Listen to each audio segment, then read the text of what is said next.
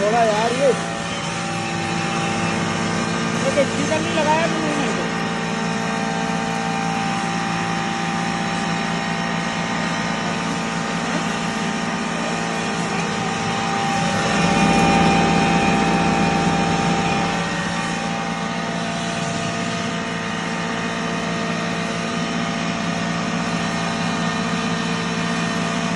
सब बंद हो जाएगा।